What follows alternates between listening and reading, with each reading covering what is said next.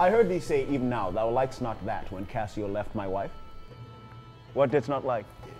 And when I told thee he was of my counsel in my whole course of wooing, thou criedst, Indeed? If thou dost love me, show me thy thought. My lord, you know I love you. I think thou dost.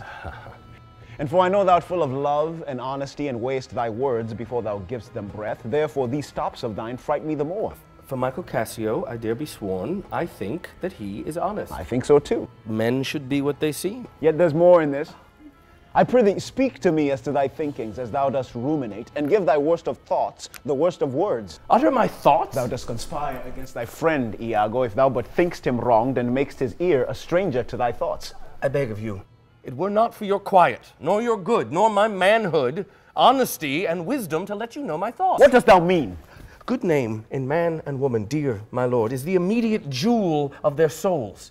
Who steals my purse? Steals trash. Well, tis something. Nothing was mine. Tis his and has been slave to thousands. But he who filches from me my good name robs me of that which not enriches him and makes me poor indeed. By heaven, I know thy thoughts. You cannot, if my heart were in your hand, nor shall not whilst tis in my custody.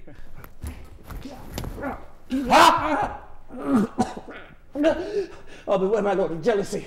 It is the green-eyed monster that doth mock the meat it feeds on.